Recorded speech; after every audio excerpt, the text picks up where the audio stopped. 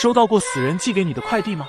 这对小夫妻刚出门，就发现门口放着三个纸做的平板电脑。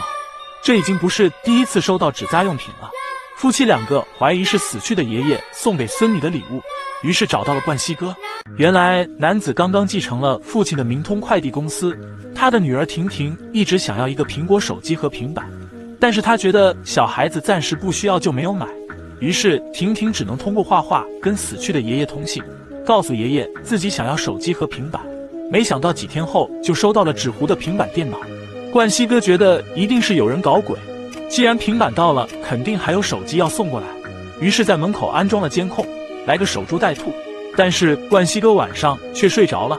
第二天被小夫妻叫醒后，发现门口赫然摆着一部纸扎苹果手机，但是监控中却没有任何人的影子。冠希哥觉得是因为监控死角的问题，于是安装了更多的监控探头。与此同时，冠希哥发现婷婷的好朋友小涛好像了解婷婷的诉求。他觉得小涛很可疑，最终发现小涛鬼鬼祟祟的把纸扎平板电脑放在了家门口，一切似乎真相大白。回到事务所的冠希哥突然发现带回的纸扎品好像略有不同，他发现小涛做的和其他两个完全不同，另外两个都印着明通快递的字样。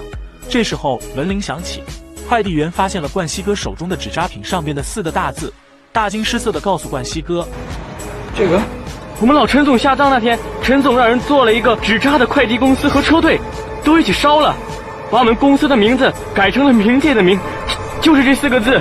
冠希哥急忙回去查看录像回放，他发现影像中一个恐怖的鬼脸，手中的纸扎电脑屏幕突然亮起。